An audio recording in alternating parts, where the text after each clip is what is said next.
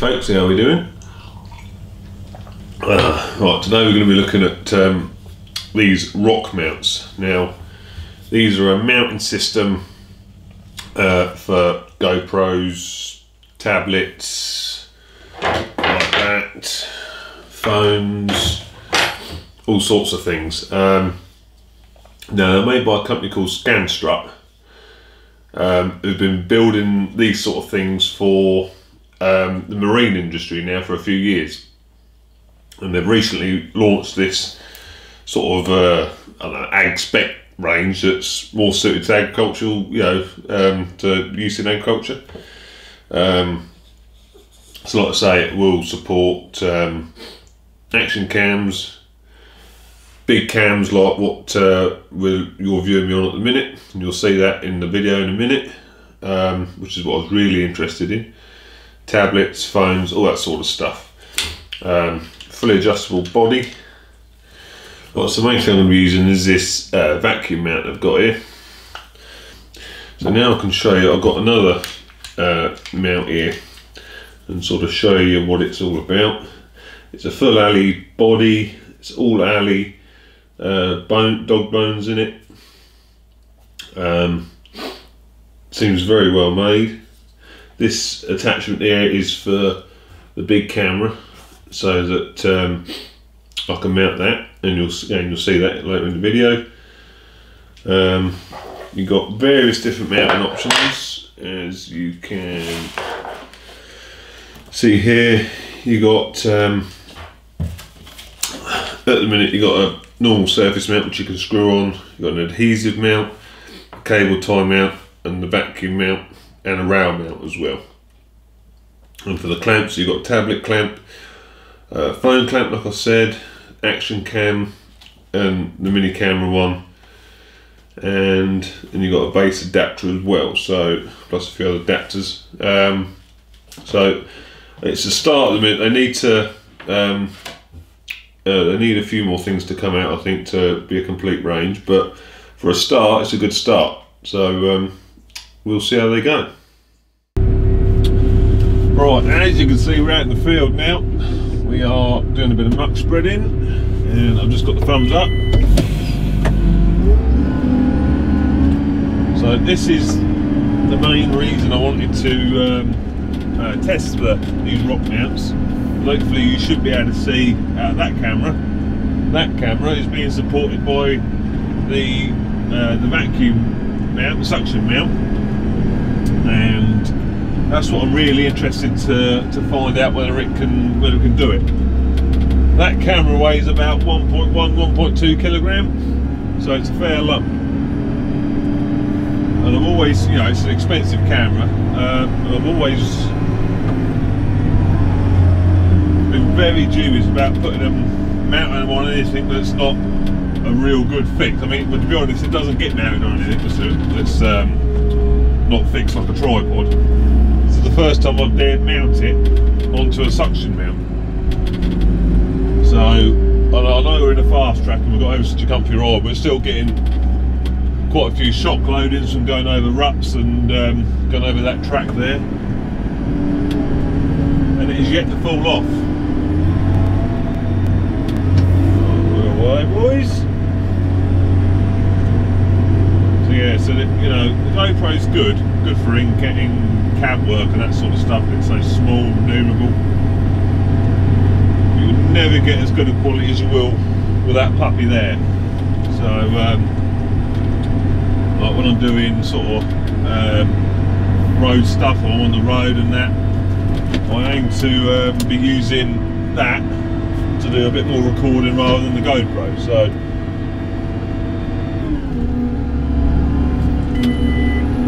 if it uh, if the ROKK mount allows me to do that, that's what'll happen. I mean, the ROKK mount still needs it. It does still need a bit of development, um, which I'll show you in a minute when I get parked up. Because at the minute you can only have one connector.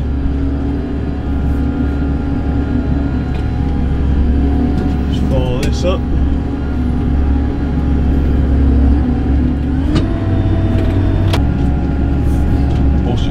Bottom headland done as well. This load.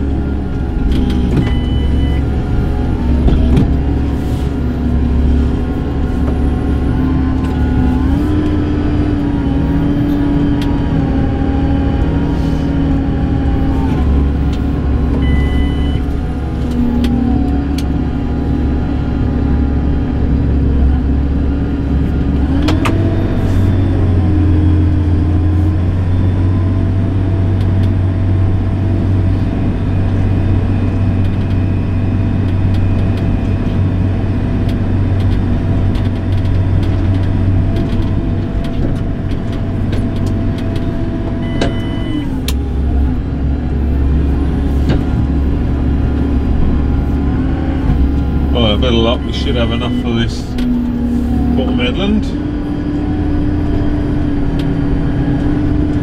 Really giddy piggly shaped fields these are.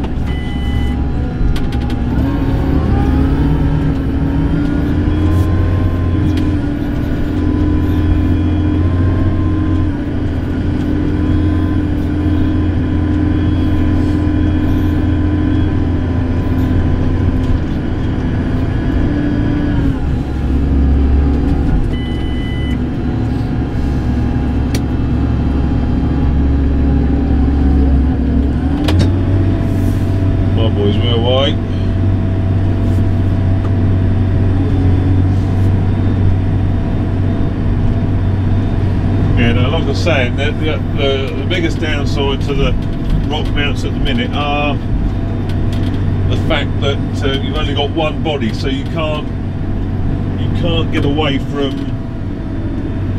from like the the mount doesn't give you enough room. Like I can't mount the um, the big camera on the back window and have it pointed forward because there's not enough. The camera overhangs quite a bit, so there's not enough to um, there's not enough length in the body to get it away so it doesn't hit the glass.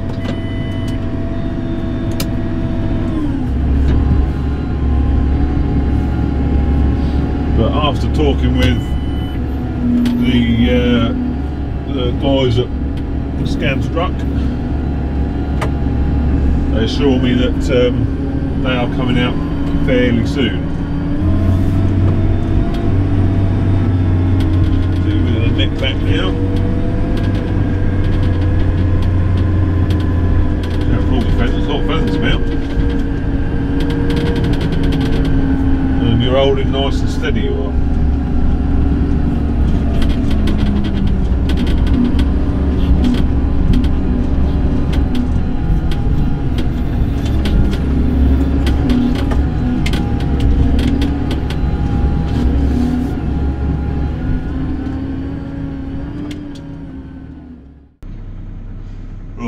Show you now the um,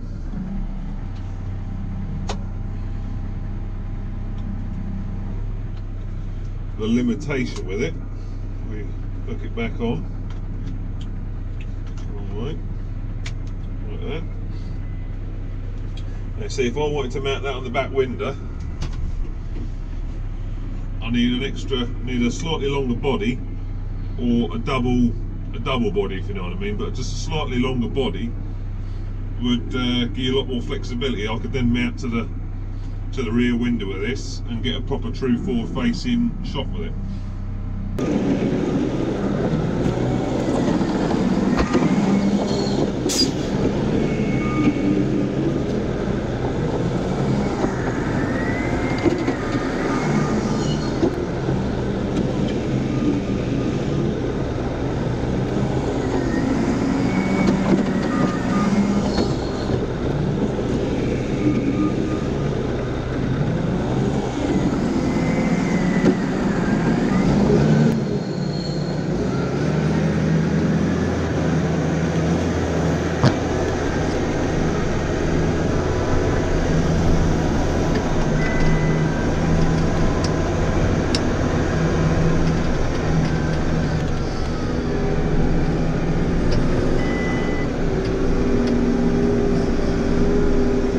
you can see this bit here is being filmed with the GoPro 6. We're mounted on the outside of the, obviously on the outside of the door glass here. Again, it's not something I'd normally um, I wouldn't normally mount the GoPro in this way, especially the 6 because it's 500 quid's worth. Um,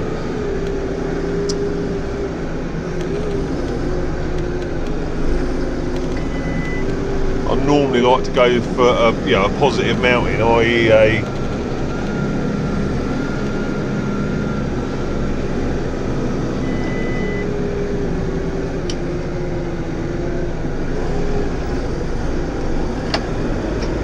normally like to go for a positive mounting, like a, uh, uh, clamp, clamp type one, or uh, the mag mount. You might say, well, you might say the mag mount's not a positive thing, but it's such a powerful magnet that um, unless you hit it with something like um, you knock it off with a branch, it's not going to come off no matter how rough the terrain is or anything like that. Um, so this is this is the first time I've dared put the GoPro on the outside with a with a um, with a suction mount. So you know on the right here we've got a typical eBay suction mount, one that I've been using for I don't know a couple of years, and it does the job. Does the job. Only trouble being it's got very limited movement. Um, you got an up and a down like that, and you got a left and a right like that. You could do it could do with another axis in it um, because it does limit your movement when you have it um, on a you know not straight forward or to the side. So, but um, as you can see, this, the the ROKK mount has got a considerably larger. It's got a considerably larger um, suction mount on it probably I don't know one and a half times the size, something like that. Weight differential is is quite quite you know um, there's a good difference in weight. This eBay one is all plastic, where this the scan Scanstrut one is all aluminium and all metal. And of course you've got the um, added benefit you can have it in any position you want. Well, as a test so far, it's doing pretty well. That camera's been hanging on there for I don't know, about an hour now, I suppose, in the field and obviously on the way home. Uh, haven't fell off yet, so it's obviously a good test in my opinion. But we'll see how they perform in the future. Obviously, I'm going to keep using them because uh, they're very handy. Um, can't try that.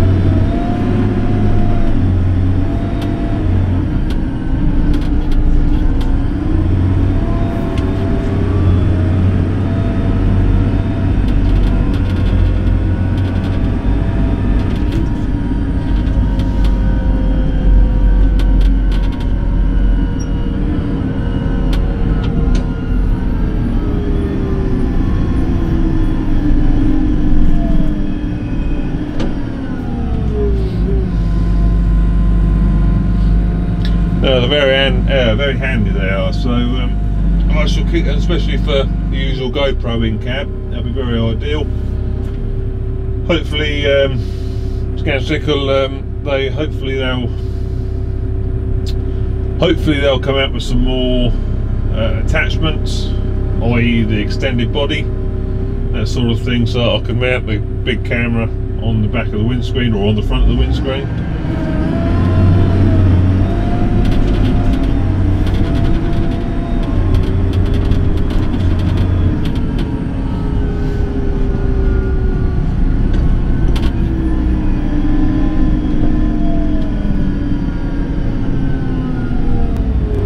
so we'll see how we get on. I'll put a link in the description so that you can go and have a look at them and obviously purchase one or a set whatever you want.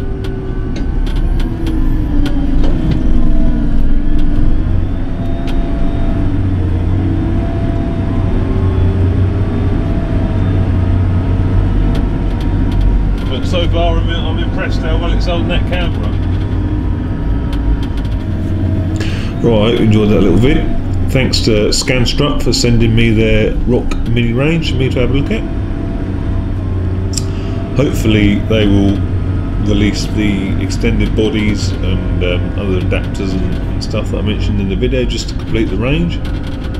Um, but uh, obviously, I'll be able to keep you updated with things as they progress. I should be using them in upcoming videos as usual. Now I've got them, so uh, yeah. Hope you enjoyed the vid, and I'll see you on the next one. Ta ta!